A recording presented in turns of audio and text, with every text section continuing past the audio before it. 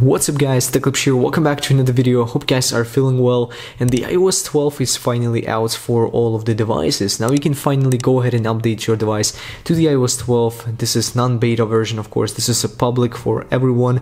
And you can just go ahead and go into your settings, uh, general, software updates and it's gonna be up here. No need to install any profiles, if you have a profile just go ahead and remove it if you don't want to get future updates, uh, the public versions of these updates uh, on your device. If you want just have the profile.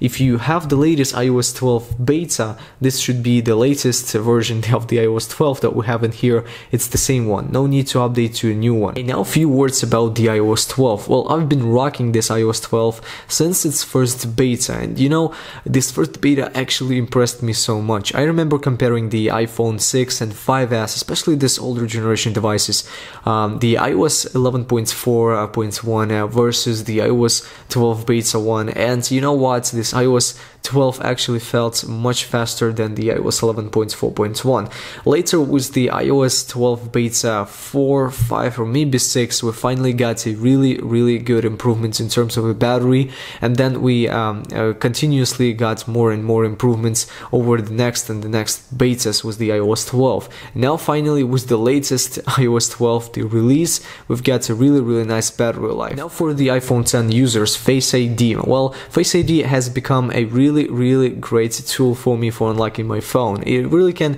now partially, let's say, replace Touch ID because Touch ID has been really great. I remember it was really awesome. Now, with the Face ID on the iOS 12, the distance between the iPhone and your face is a little bit shortened right now by like like the iPhone, like the whole iPhone. So you don't have to, you know, uh, hold your phone on the long distance for it to unlock uh, itself. Uh, now the distance has been shortened. That's a really good sign. So in terms of the performance, this became really, really great and you can actually see the difference right after you update. So now, before you update, just make sure you make a backup because, because you know, uh, people are going to be updating their phones, iPhones, uh, iPads, also maybe iPod Touches if they're still compatible, uh, all across the globe. It's millions of devices. So, you know, in case something fails, you need to have your backup in the cloud or on the computer. So uh, I usually do two backups on the computer and also in the cloud to have, of course, um, this recovery situation uh, so I can actually get another backup for myself in case something fails.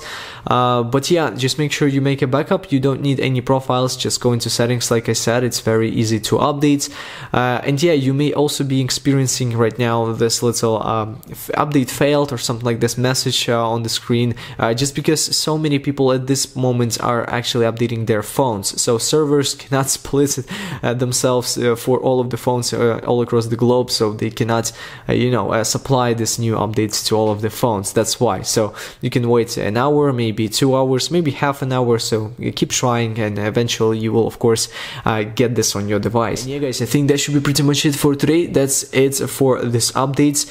of course, I wish you a good luck updating your phone. Just remember to do a backup. And of course, if you have any ideas about the future videos about the iOS 12 12, maybe comparing different phones, uh, speeds between the iOS 11 latest version and iOS 12. I will of course do that if you want. So make sure you of course leave your comment down below in the description. And you guys, if you enjoyed that video, definitely be sure to hit the like button. That will be super much appreciated. And as always, guys, oh, uh, I almost forgot. Just go into my videos. Uh, today I've made another video about the iPhone XR. Things you did not know about this iPhone. Should be interesting. And yeah, guys, I really hope to see you around to my next one. And Peace out.